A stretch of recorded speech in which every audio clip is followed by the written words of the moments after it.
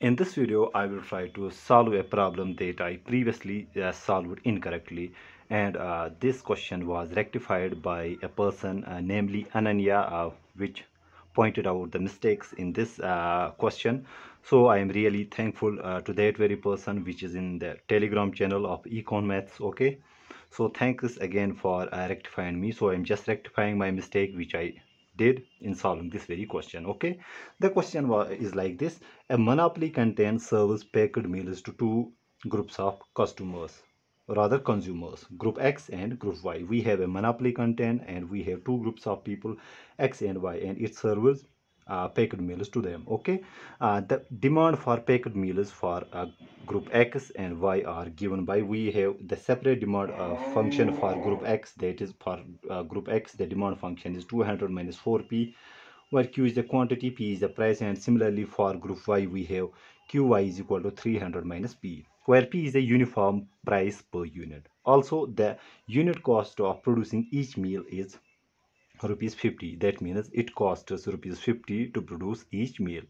We have to find the value of price value of p that is in rupees that maximize the canteens profits the options are 75 50 125 or 175 so we will see how to solve this. What we are being given? We are being given demand function that is qx is equal to 200 minus 4p okay for group x and for group y we have demand function is given by we have 300 minus p okay? Also marginal cost which is the unit cost is given us as 50 okay? So mc for both uh, for producing each meal is 50 okay? Now before we use the profit maximizing condition we need to look at the demand functions individually okay? So we have two groups. We have group x and group y okay? In group x what is the demand function? Demand function is given as qx is equal to 200 minus 4p okay? Now if the monopoly canteen wants to serve in the first market obviously our quantity should be positive. Then that will make sense. So our qx should be greater than 0 okay? When will be the quantity produced or served greater than 0 that means our 200 minus 4p should be greater than 0 or uh, 200 should be greater than 4p or we can write it like this uh, 4p should be less than 200 and if we transpose this 4 here so p should be less than 200 upon 4 which implies our price should be less than 50 okay? So what does this mean? So we will be able to serve positive positive uh, uh, positive quantity only if the price is less than 50 okay? So what is the unit cost of producing uh, each meal? So we have marginal cost. Marginal cost is equal to 50 okay? Here we can easily uh, comprehend.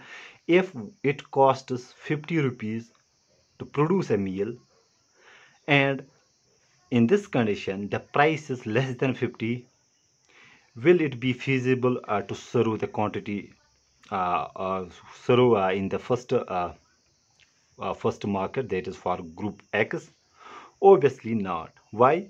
Because our cost is greater than the price which will be which we will receive in the uh, in the first market okay so you should be very careful here so i will repeat here since uh, we are only interested in uh, in supplying positive quantity not if we saw if it is q is equal to 0 then it will not also make any sense. If we don't supply anything that will also not be feasible one.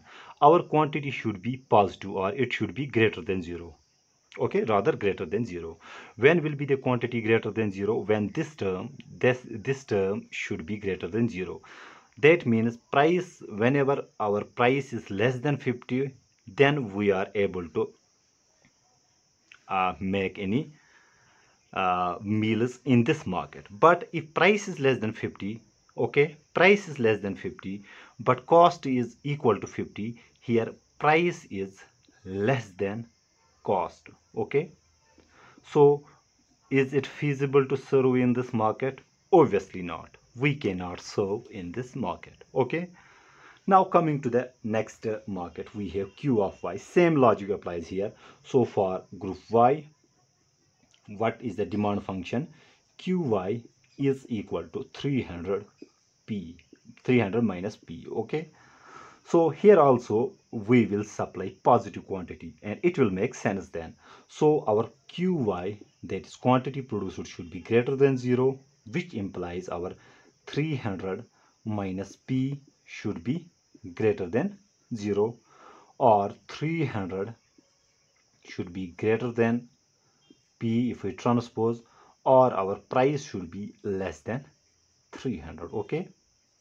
In the second market we will be able to serve only when the price is less than 300 okay? But price less than 300 can also mean price is less than 50 or less or equal to 50 okay? So for that we need to use another constraint here because if in the first market price was less than 50 in the second market price was less than 200 uh, sorry 300 and these two conditions are satisfied when price is less than 50 okay? Whenever price is less than 50 we can say that price is less than 300 okay? And price is less than 50 both conditions are satisfied at this point okay? So in the second market we will be able to produce or serve positive quantity only when price is less than 300 but this price should be greater than 50 why? Why our price should be greater than 50 as we have seen in this uh, uh, uh, in the first market as long as price is greater than 50 okay?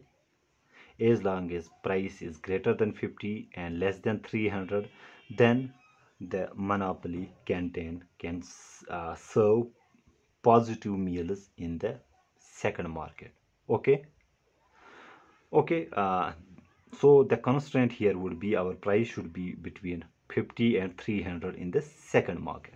Okay so first market is not feasible at all. If price is less than 50 then we will not be able to serve anything. But if price is greater than 50 here if we write greater or equal to 50 then it will also not make any sense to produce here because when the price is greater than 50 our quantity demanded in the first market sorry quantity uh, demanded in the first market will be less or equal to 0 okay? So quantity cannot be 0 or negative. So if we have price greater than 50 in the first market then also we will not be able to uh, survive in the first market. Okay for the second market our price should be less than 300 but greater than 50 why greater than 50 because our marginal cost of producing each meal is 50 so as long as our cost cost is less than price then we will be able to uh, serve in the second market. Okay? So we cannot use the first market in here okay? Now that means we need to concentrate on the second market only okay? Now uh, if we we cannot use the first market then we are left with these two expressions okay? So q is equal to 300 minus p marginal cost is 50 profit maximization requires our marginal revenue should be equal to marginal cost. So first we need to find the marginal revenue here. So how do we find the marginal revenue? So first we solve it for price. So if we transpose p is equal to this is 300 minus qy okay? So total revenue is equal to price into quantity which means 300 minus qy into this we multiply qy okay? So this is our total revenue which is 300 times qy minus qy square. This is our total revenue. What is our marginal revenue? Marginal revenue is simply the derivative of total revenue with respect to quantity. Derivative of a q is 1 so we have 300 here. Derivative of q square is 2 q so 2 qy okay by power function rule and setting this profit maximization condition. So uh, setting marginal revenue is equal to marginal cost will give us so our marginal revenue is 300 minus 2qy should be equal to marginal cost which is 50 okay?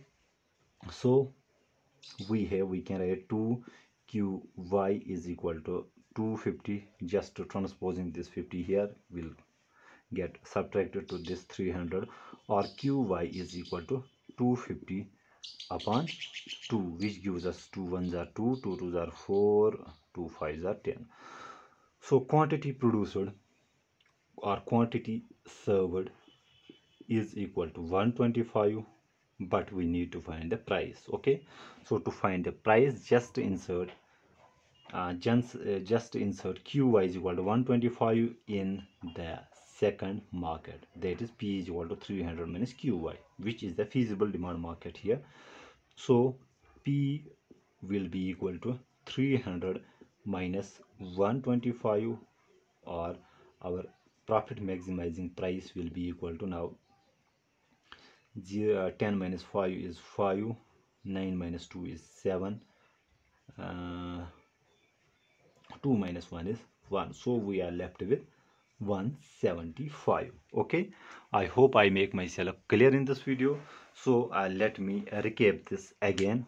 So i solved this uh, problem previously but there was mistake in solving this. I just uh, add up these two demand functions okay and for formed the whole demand function but that was not the case in the question okay so previously i got 75 as the correct answer but the correct answer should be 175 okay